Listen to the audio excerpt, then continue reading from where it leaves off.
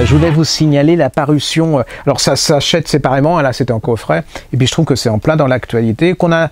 Alors c'est vrai que cette femme au départ n'était pas forcément sympathique. En plus c'était la copine de Jean-Paul Sartre que je déteste parce que il a tout fait pour emmerder Camus, alors que à mon avis Camus avait. euh, D'ailleurs il a gagné hein, puisque Camus maintenant est au sommet et que Jean-Paul Sartre euh, c'est devenu un peu. voilà. euh, et donc, cette, elle était la copine de Jean-Paul Sartre, c'est pas de sa faute, mais bon, quand même. Et donc, c'était.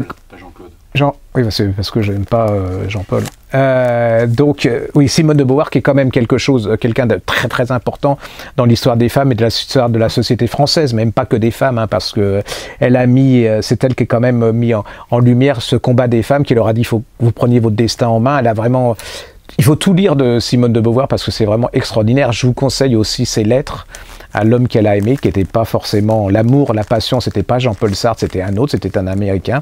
Je ne vous dirai pas le titre parce que je crois que c'est Algren, mais je ne suis pas sûr. Je crois que c'est- en folio. Hein. Lisez ça, c'est absolument fabuleux. C'est une passion. Alors là, elle se libère complètement. C'est plus la bourgeoise, euh, voilà, très hautaine du boulevard Saint-Germain et très athéno. C'est une femme qui aime à la passion et voilà, extraordinaire. Et là, viennent de faire paraître les mémoires de Simone de Beauvoir en deux tomes chez Pléiade.